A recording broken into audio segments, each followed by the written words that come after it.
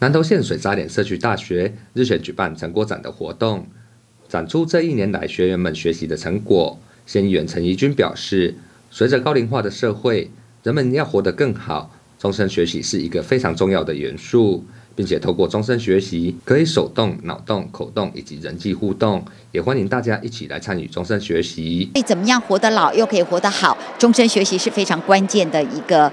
哦，元素讲呢，对民众来讲哈，就是好像呢每天都要去上课一样。好，那透过这个终身学习，可以让我们脑动、口动、手动，还有人际互动。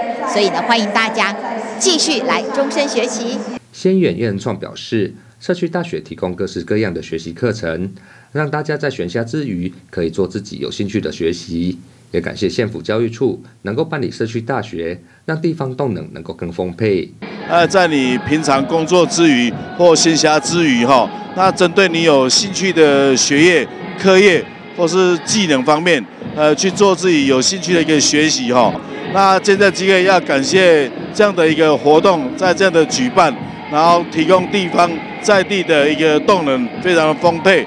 偏远黄世芳表示：“活到老，学到老。”终身学习是非常重要的，也感谢县府教育处对于终身学习的支持，让县民有接受终身学习的机会。那我想活到老学到老，终身学习是很重要的。那也很感谢我们南投县政府哈，呃，对我们社区大学的支持，让我们的民众哈可以来享受到呃非常便宜的一个社区大学的课程。那未来也希望啊我们各位。呃，我们镇民或县民哈，能多来参加我们社区大学的课程。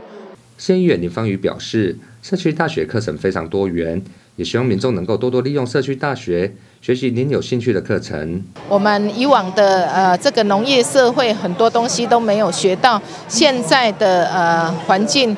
可以容许我们去呃做我们喜欢的工作，学我们喜欢学的东西，所以呃欢迎呃社会大众能够多多的来利用这一个社区大学。副议长潘一全肯定县府教育处办理社区大学的用心，也希望未来教育处能够规划更多元的课程来提供民众学习，落实终身学习的推广。记者陈伟一普里采访报道。